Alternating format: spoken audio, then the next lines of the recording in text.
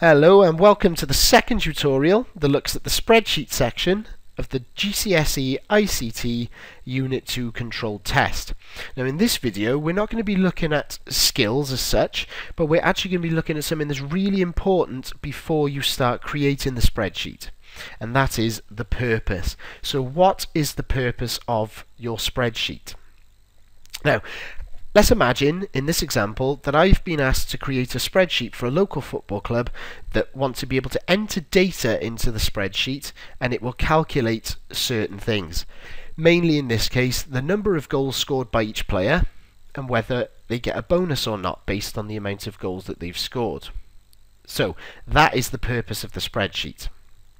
I added a few other things in there which we'll look at in more detail in a moment. So let's have a look at the mark scheme.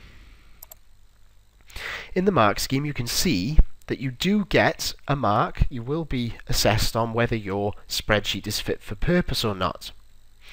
Now the assignment that you've been given, remember both of these documents you have downloaded from the WJEC website, so you should have those available. You can see that you need to create a spreadsheet to enable the organisers to X, Y and Z. So you can have a look through those for yourself.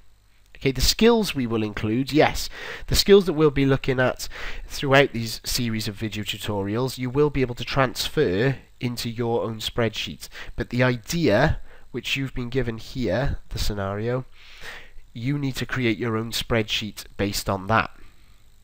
So that's under control test conditions, so that's down to you. But a lot of people do find it difficult, if I just go back to the spreadsheet, to actually decide how they're going to lay this spreadsheet out. But it's easy. You've just got to think about what the purpose is. So I knew that I wanted in my spreadsheet to show the number of games that each player played, the amount of games they played shown as a percentage, the number of goals that were scored by each player, and whether or not they got a goal bonus.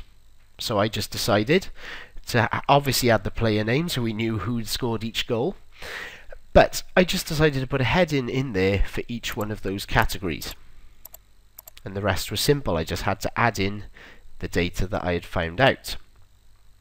Then I also wanted to find out, using formulas, the total goals scored, largest number of goals scored by an individual player, the least number of goals scored by an individual player, and the number of players in the team.